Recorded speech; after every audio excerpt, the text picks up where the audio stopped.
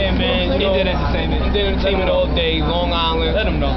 You know, we grinding right now. We at the A&R. Summit 2006 at SOBs. Yes, sir. A lot of people out here, a lot of talent. My dudes from Hawaii who own the camera right now.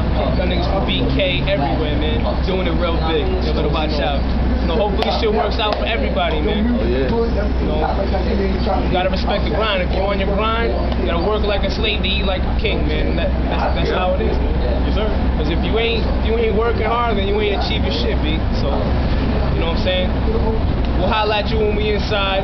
You know, we'll let you know what's popping. So, see y'all later. Early, B.